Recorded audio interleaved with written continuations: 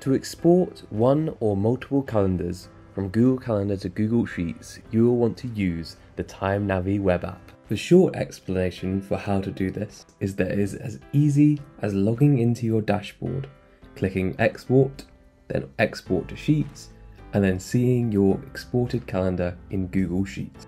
For a more detailed approach, here is a step-by-step example.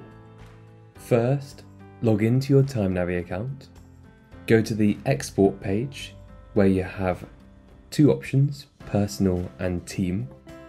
Personal allows you to export any of your own or shared calendars, whereas on team export, you can do everything you can do on personal, but you can also export other members of your team's calendars as well.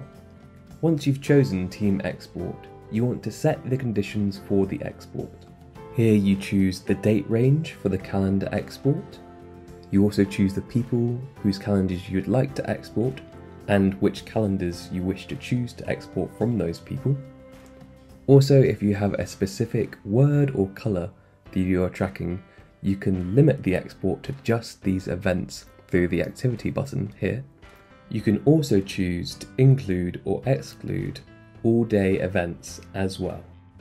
Lastly, how you want this presented is chosen in these last two categories. The first lets you export your chosen calendar information. Let's say you need to include the description of the events and the attendees you can simply click the checkboxes to include them.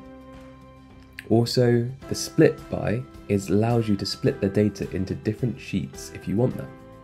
So for example, the merge all exports all of your information into one Google Sheet page, whereas split by calendar exports it but has different pages for each calendar and by activity merges all the calendars but splits the page by activity. And there you have it. That is your complete guide to export Google Calendar to Google Sheets. It is worth noting that this is part of TimeNavi's Pro plan, but there is a two week trial for those of you who are interested. To start exporting now, click the link in the description and it will take you to TimeNavi straight away. I hope this was helpful and I'll see you in the next video.